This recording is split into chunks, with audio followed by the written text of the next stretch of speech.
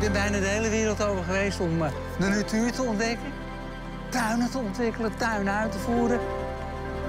En reportages te maken. Maar eigenlijk voor mezelf heb ik dat weinig toegepast.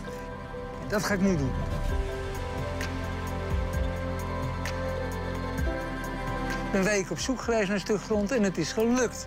En ik wil eigenlijk de kijker aan de hand meenemen om te laten zien hoe je zoiets gaat samenstellen.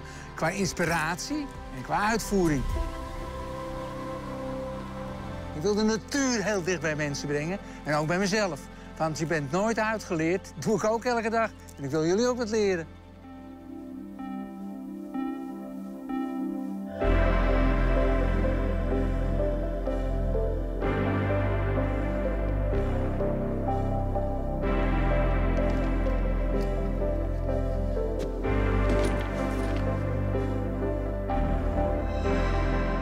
Heerlijk is dat, zeg.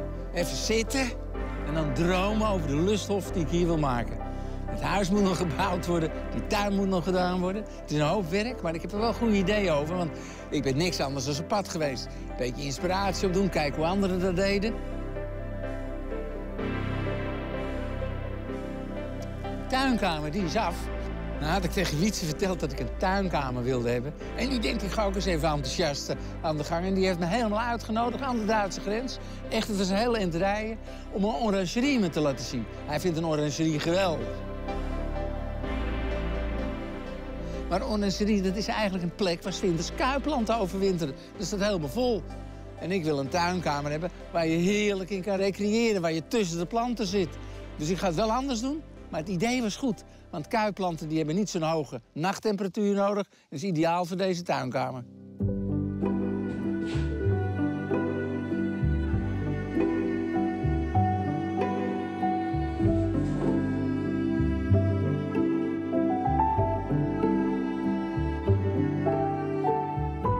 Nou, dit wordt een tuinkamer met planten natuurlijk. Maar het kan nog niet. Want eh, techniek werkt nog niet helemaal. Maar ja, mijn handen jeuken. En ik wil toch een idee hebben dat het hier een tuinkamer wordt. En daarom ga ik het eigenlijk versieren. Ik heb hier hulsten, bijvoorbeeld is de bladverliezend hulst. De Ilex verticillata.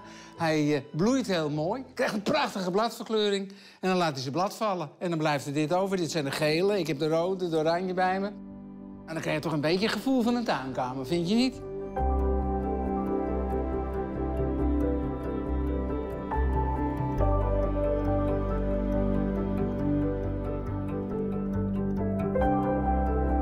Heb hier een clematis. Nou, dat is echt eh, bijzonder, hoor. Tegenwoordig zie je ze veel in boeketten.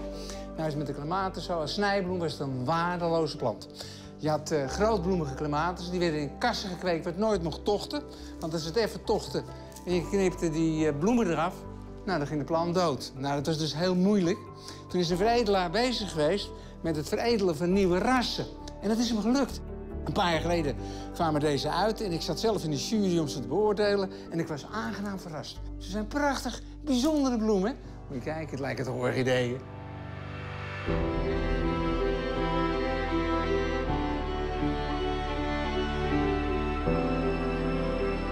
Zo, Leo. Nou, ik heb verleden keer gezegd, we gaan Ja. in de grond zetten. En beloofd is beloofd, hè? En beloofd is beloofd. En waarom doen we dat?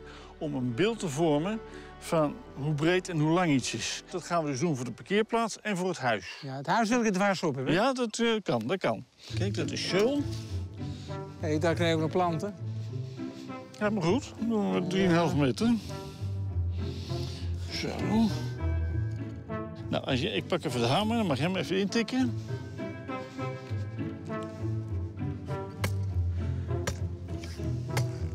Zo. Nou, het grondwerk mag ik hier wel behoorlijk doen, Leo. Wat, wat is het hard, man? Gaat erom dat jij het idee hebt. Dit is 10 meter. 10 meter, nou, dat is toch prachtig? Ja, goed. Ik denk dat er goud ligt. Ja, vast. Nou, maar hier kunnen mooi twee auto's staan. Ja.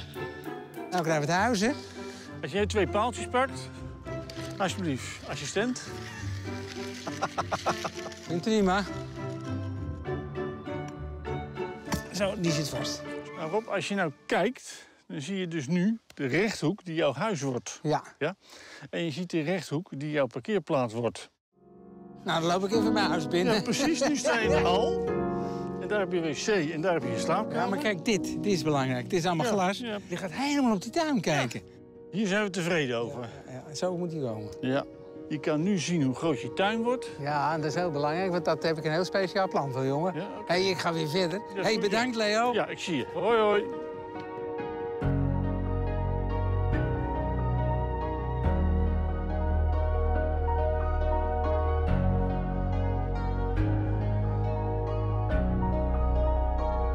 Ja, ik zit wel een beetje te flippen, hoor. Ik vind het hartstikke leuk dat ik kleuren zet in mijn eigen tuinkamer.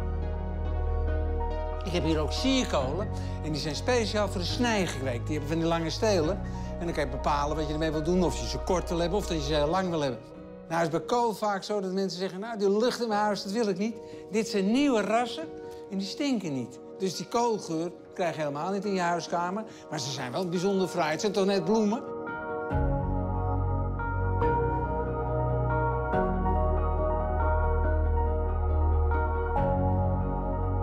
Zo, ik kan er niet vanaf blijven. Ik vind het zo mooi, die klimaten. Moet je kijken, dat is zo schitterend. Die hele tuinkamer die geurt nou naar planten en bloemen. Dat vind ik heerlijk. Ja, dit is het begin. Er moet natuurlijk nog heel wat gebeuren. Maar, huppakee. Ik ga toch nog even genieten. En even kijken. Want ik heb met Leo ook een hoop gedaan. Als daar het huis komt, daar staan die auto's een beetje het zicht. En dan de prachtige tuin, want daar heb ik wel ideeën over. Maar ja, we gaan het allemaal stukjes bij beetjes doen.